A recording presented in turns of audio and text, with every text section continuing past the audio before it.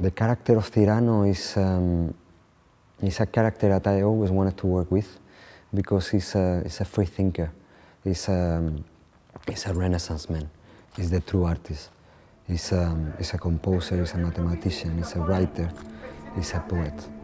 And uh, he's someone that lives without compromise.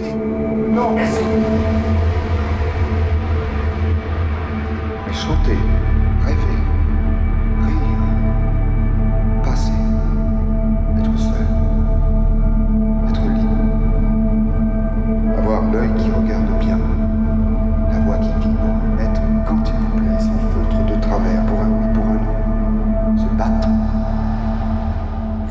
Although I try to also give to the character um, his doubts, because I think in some moments he must doubt his way.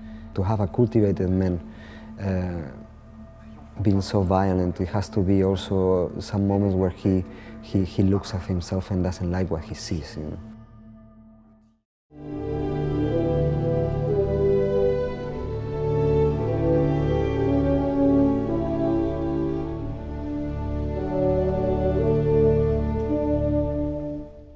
Wanted to start the piece like anything could happen. That um, somehow starts with, uh, with clay, with energy, with a group of people that somehow is like a cell, moving together, moving at once. And then uh, somehow things, elements are starting to fall and started to, to move uh, and to affect this, uh, this cell.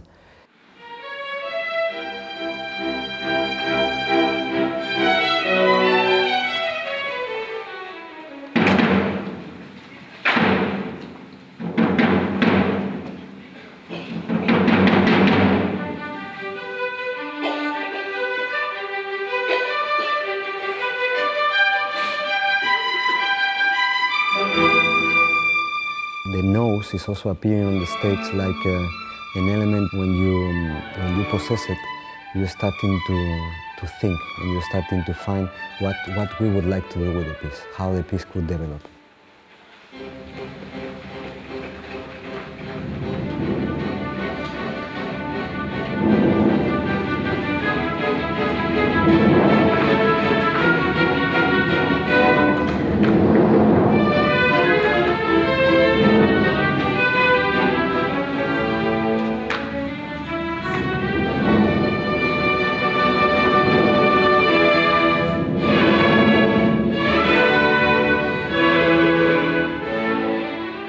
Basically, we are going through the piece in, in two lines. One, one that could be a storytelling line, and one line where we are going into the thoughts or the, the mind of the character.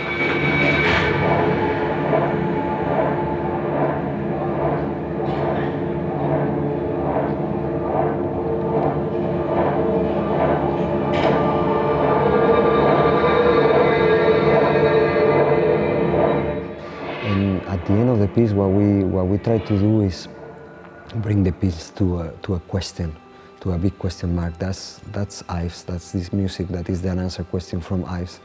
And that brings the whole piece to a, to a, a- a closure that is, is not a, um, an story ending uh, per se, but is basically an, an open question. Does he die? Does he find his, his love?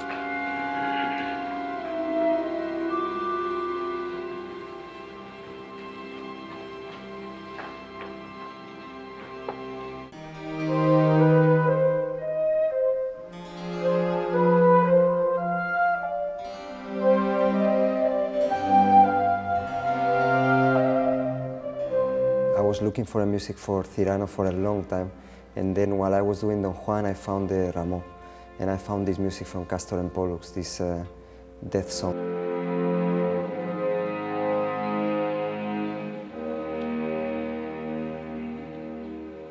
Rameau has these uh, really different feelings to it, and um, and it really fits with the character of Cyrano, how how someone can be so violent and at the same time so sensitive.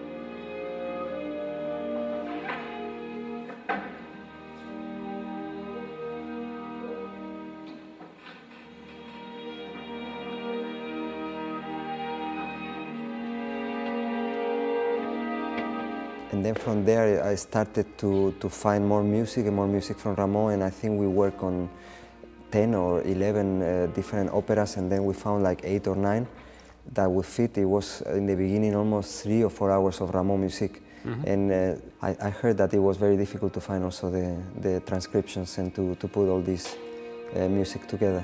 Yes, because um, still there are scores and operas, they are not printed and uh, that's why we had to make the scores from the man manuscript really.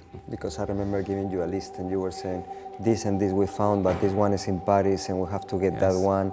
It's been a long process to find how to build the piece and how to to, to bring something that could come along with Rameau and, and at the same time give a contrast and give the, the colors that we needed because it is just uh, the storytelling what is important and you needed also a composer that understood that and that somehow builded not only bridges and, and connections in between the pieces from Rameau, but also has uh, a, a, very important personality in, in, in, taking part of the character of Cyrano. I asked Owen to, to join us and, and I was really happy when, when he said yes because uh, I'm a big fan and, and because uh, it was exactly, I think it's exactly what we need to make the piece uh, what it is today. It's really amazing how you got into, into the story and how you follow my, my, my beginning ideas and, and add so much to it that at the end it became uh, part, partly is film music, part, partly is, uh, is sounds, you know. Mm. For example, I cannot listen anymore to the balcony text without right. hearing your music. Les miens n'éprouvent pas de difficultés pareilles. Ils trouvent tout de suite. Oh, cela va de soi. Puisque c'est dans mon cœur euh, que je les reçois. Or, moi, j'ai le cœur grand. Vous, l'oreille petite. D'ailleurs. I work a lot by instinct and that's how a lot of it just came out without necessarily thinking too much, mm. just going with my instinct of what I think feels right. You have to tell me the, the, the priest because I told him I need a, a, crazy priest, you know, that is bringing the letter. And then he comes with this thing that is, uh, is, is a real, uh, comes from real sound.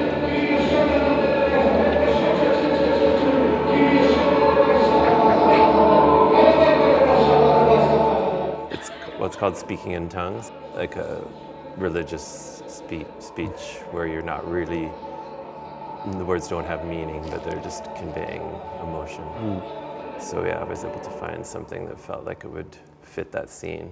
Mm. But but then you told me that you wanted it to start like he was whispering and from very far away.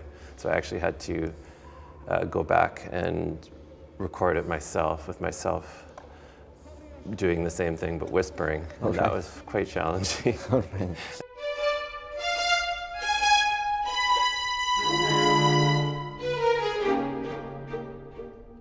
My favorite is the travel to Arras, the, the letters to Arras, because you show me the way you, you were inspired by all animations from, from Disney mm -hmm. and how they work in different layers. And uh, it's a complete storytelling. I mean, basically, uh, the, the dancer is just running and, uh, and you made everything as possible through uh, war, through seasons, through day and night uh, in, a, in a three-minute piece, you know. So it's quite a, quite a few hours of work, no? It's a little bit like uh, Owen said uh, about instinct. I have a blurry feeling what it should look like, but how I get there, that's a different story.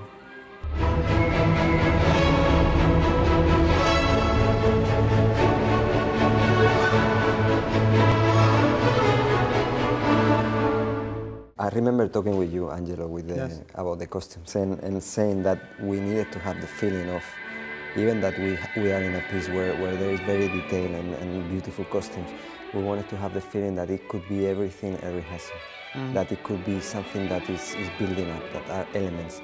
And, and I remember you uh, telling me, are you completely crazy, how I'm gonna do that, you know?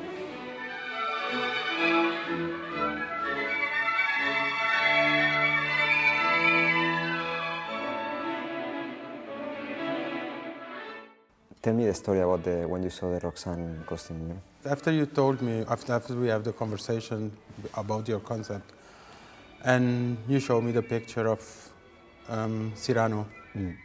you wanted some gray tone for the group. So I had to look for a great material and that is working with the flyer that we make in the beginning. After that, you told me about Roxane and you said she have to be colorful. I was like, how colorful? And he was like, peach. I was like, okay, are you sure? He was like, yes. She's like the light of the piece. She's like the sun. So we got what you asked me for.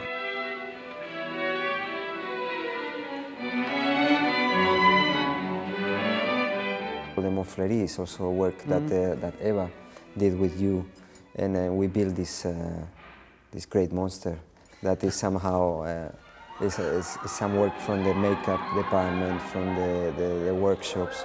You uh, dress it, you know. Yeah. Then she make also the, the way The that, that, that it is moving and, and that is coming along together. Normally I design and I work with bodies and persons. You never dress a man that I that never know? dress a man from two meters and 40, s- so big. You asked me to make a big Baroque um, Montfleury. So I thought, okay, I just make the design on paper and I give it away. So I thought that's, that's, that's, the, end of my job.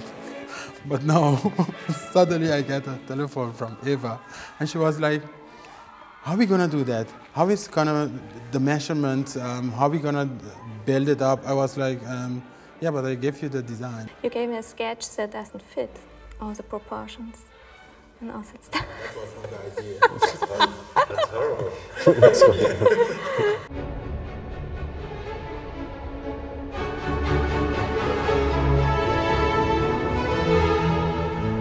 We had to find a, a connection um, uh, between modern theater and the traditional uh, uh, technologies. That was uh, really a big thing. I Remember when, when, when we said, okay, we want to work with this uh, old theatre, all these prospects, and then we found uh, that it was completely impossible to do what we wanted to do, which was just having uh, painted prospects or printed prospects by, by Oliver.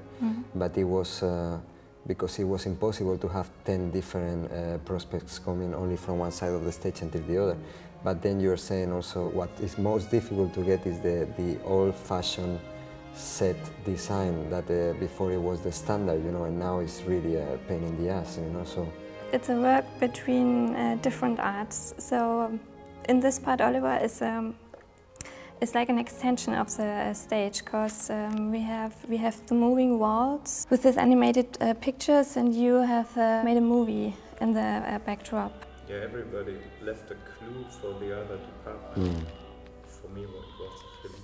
and that's why we created this uh, this moving element so you can have different rooms. Uh, but you did it in, in a way that somehow the, the set is not overly present. So it disappears when it needs to, you know, because of the lighting. So there is all these elements that are important to the piece, but none of these elements are the most important element on the piece. But somehow the, the interesting thing is how they are all coming together with the costumes and with the set and with the animation. So it's not, um, there is not a first actor, let's say, or a, or a principal actor in the, in the piece, but the piece is a group piece, you know.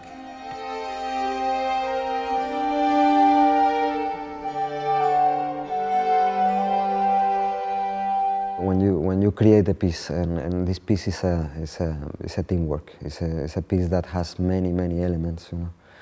You have to somehow rely on a strong creative group, a creative group of dancers that follow your ideas and follow your thoughts, and also a creative group of people that is able to take your ideas and bring them to a next level.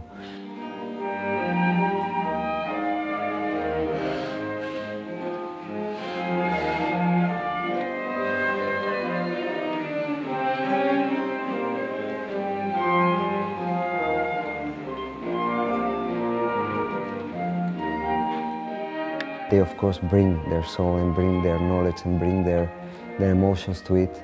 I did the same with Owen and I did the same with, uh, with Oliver and with Eva and with Angelo.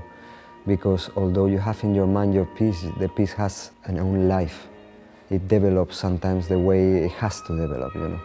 And um, in this piece I must say uh, the, the, the more and more I'm, I'm, I'm thinking is a, is a, is a compendium of, of many different types of, uh, of art, types of um, writing. And that's why it's been interesting to, to see how the different parts come together and create a whole where nothing step on each other, where everything works somehow for the, for the goal that is to tell the story and to bring our Cyrano forward. And this is also what I try to do with the choreography, that, that even that there is, of course, Cyrano and there is Roxane and there is Christian, we start and we end the piece as a group, as a company, you know, creating something together. And for that, I'm, I'm thankful.